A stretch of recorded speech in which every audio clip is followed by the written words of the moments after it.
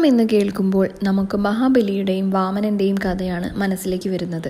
എന്നാൽ ഇത് മാത്രമല്ല ഓണത്തെക്കുറിച്ച് ഇനിയും ഐതിഹ്യങ്ങളുണ്ട് ഓണം മലയാളികളുടെ ദേശീയോത്സവമാണ്.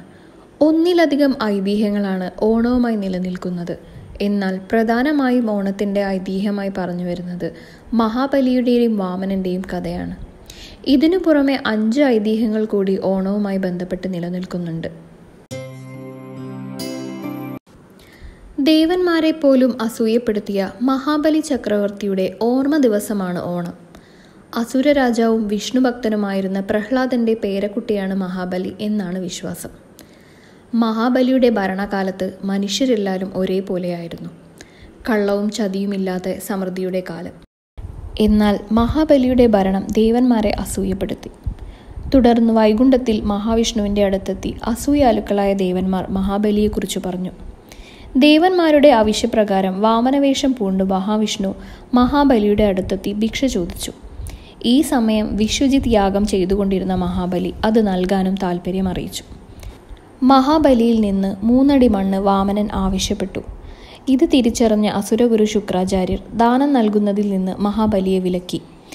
ഇതിനെ മറികടന്ന് മൂന്നടി മണ്ണ് അളന്നെടുക്കാൻ വാമനന് മഹാബലി അനുവാദം നൽകി.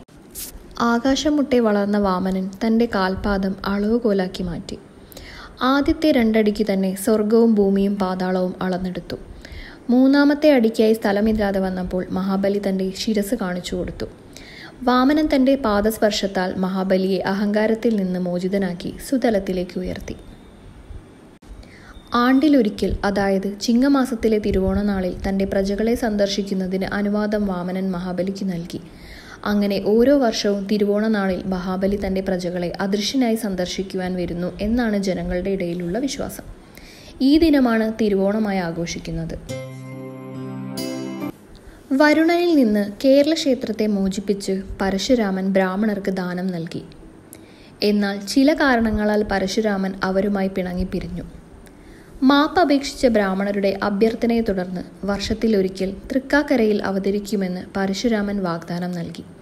ഈ ദിവസമാണ് ഓണമെന്നും സങ്കല്പം നിലനിൽക്കുന്നുണ്ട്. ശ്രീബുദ്ധനെ ബന്ധപ്പെടുത്തിയും ഓണവുമായി കഥ നിലനിൽക്കുന്നുണ്ട്. പൂർവാശ്രമത്തിൽ ശ്രീബുദ്ധൻ സിദ്ധാർത്ഥൻ എന്ന രാജകുമാരനായിരുന്നു. ശ്രാവണമാസം അതായത് ചിങ്ങമാസത്തിലെ തിരുവോണനാളിൽ ബോധോദയമുണ്ടായെന്ന് സിദ്ധാർത്ഥൻ ശ്രീബുദ്ധൻ എന്ന സന്യാസിയായി മാറുന്നത്. ഈ ശ്രാവണപദ സ്വീകാരം പണ്ട് കേരളത്തിൽ ആഘോഷിച്ചുവെന്ന് ബുദ്ധമത വിശ്വാസികൾ പറയുന്നു. ശ്രാവണമാണ് പിന്നീട് ഓണം എന്ന പേരിൽ അറിയപ്പെടുന്നതെന്നും കഥകൾ നിലനിൽക്കുന്നു.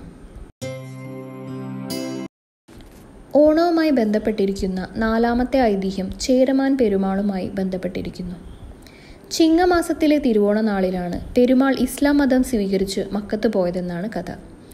ഇതിന്റെ ഓർമ്മ ദിവസമാണ് ഓണമെന്നും പറയുന്നു. ഗുപ്ത സാമ്രാജ്യത്തിലെ ഭരണാധികാരിയായ സമുദ്രഗുപ്തൻ കേരളത്തിലെ തൃക്കാക്കരയെയും ആക്രമിച്ചു. എന്നാൽ കേരള രാജാവായിരുന്ന മന്ദരാജൻ ആക്രമത്തെ പ്രതിരോധിച്ചു. രാജാവിന്റെ പ്രതിരോധത്തിലും സാമർഥ്യത്തിലും സമുദ്രഗുപ്തൻ ആകൃഷ്ടനായി. അങ്ങനെ ഇരുവരുമായുള്ള യുദ്ധം പരിസമാപ്തിയിലെത്തി. ഇതിന്റെ സ്മരണയ്ക്കായി ഓണം ആഘോഷിക്കാൻ രാജാവ് വിളംബരം ചെയ്തുവെന്നാണ് ഐതിഹ്യം. വാമന പ്രധാന പ്രതിഷ്ഠയായുള്ള ക്ഷേത്രങ്ങൾ വളരെ വിരളമാണ്. അതിലൊന്നാണ് എറണാകുളം ജില്ലയിൽ തൃക്കാക്കരയിൽ സ്ഥിതി ചെയ്യുന്ന തൃക്കാക്കര വാമനമൂർത്തി ക്ഷേത്രം.